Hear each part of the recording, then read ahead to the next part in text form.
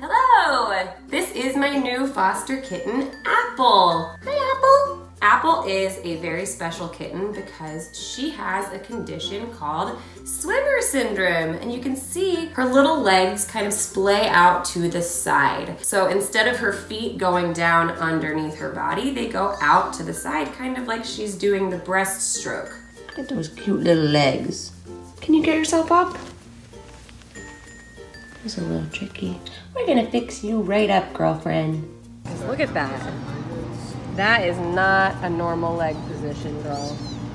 It's like if you're not holding the legs in that position, they splay totally out. She's three and a half weeks old now and she was still pancaked. So when they're younger than this, you won't really know if they have this condition. But at this age, we would expect to see her little feet coming right underneath her body so that she can take steps.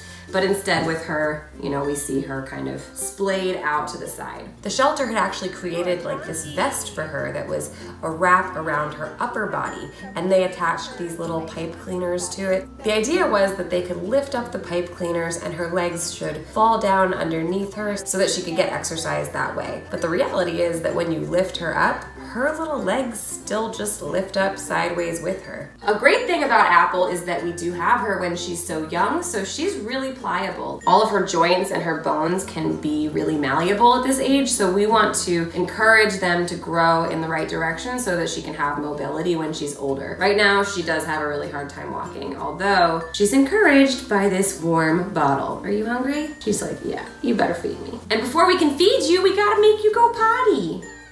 The indignity. So I did take a photo of her side by side with a kitten who's the same age as her but has normal leg development. So if you look at the photo, you can see the black kitten has, you know, normal leg posture. The feet are out in front, whereas she has her feet splayed out to the side. So you can really see the difference there. She kind of looks like she's clicking her heels together. For all of her challenges, she doesn't struggle with being chonky. These little legs need to be able to go underneath her body in order for her to walk normally. Instead of going out to the side, I want her hips to come in. So we want these hips to come in and we want the feet to be able to go underneath her body, like that. So she can move her feet that direction, but as soon as I let go, woo, it all goes out to the side.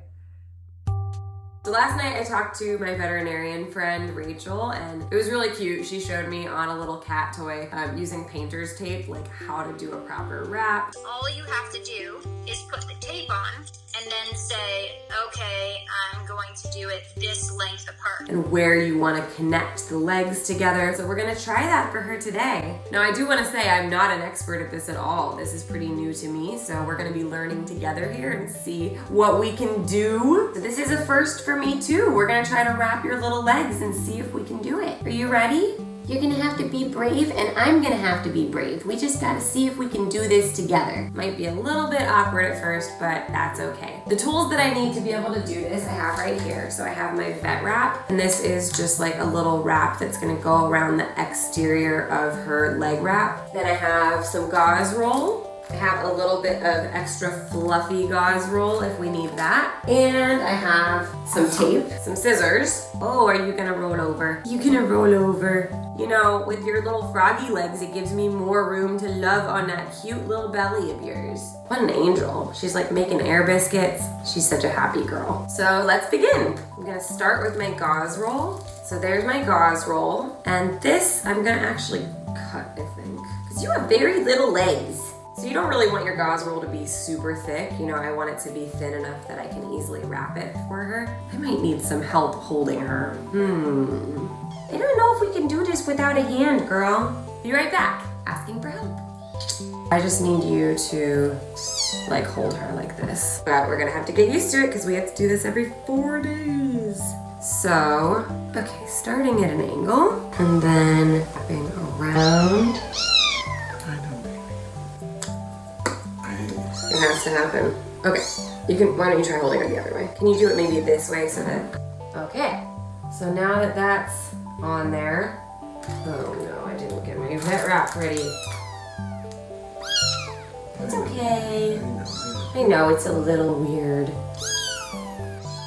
We gotta do what we gotta do, girlfriend. You know, her prognosis is really good with this. It's about three to four weeks, and you change the wrap every couple days. Every week, it just gets better and better, is the idea. I think probably I will get better at wrapping her too. This first one is gonna be kinda clunky.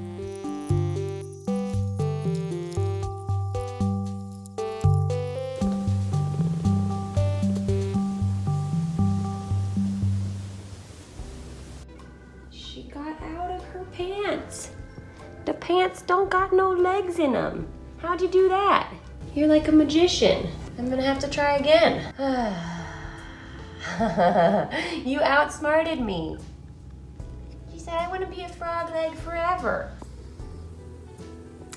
And that's that. Okay, scratch that. Scratch that. That definitely didn't work.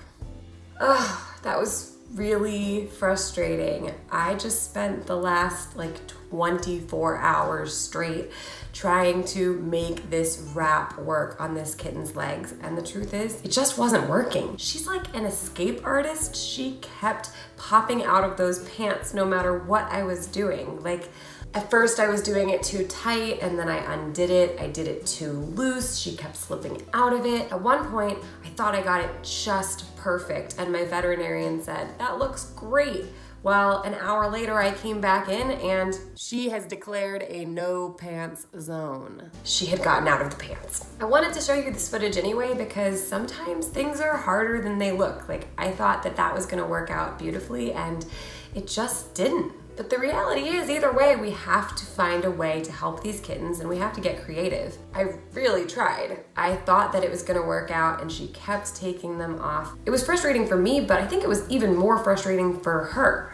So here's what I did instead. I ended up going with a much simpler method, which is using medical tape to tape her legs. This medical tape is sticky, but it's not abrasive and it's not uncomfortable when you take it off of her. Most importantly, it's secure enough that it actually stays put, and because it's not this big bulky thing that's encasing her entire leg, she actually does have more comfort and mobility with just the tape. You're just doing some little Dark Kittens ages ballet. ballet. Plies, that's what those are. plie. Yeah. And plies get me out of this.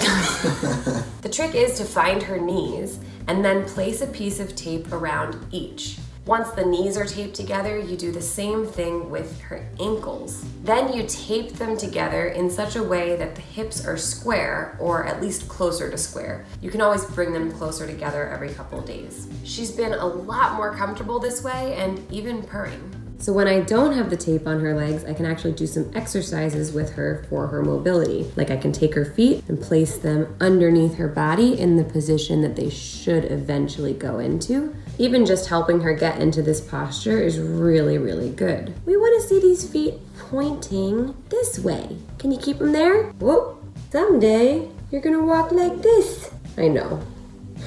She's like, I'm a permanent sploot cat. Something I can do with her is actually help her move her feet in the right direction, like this.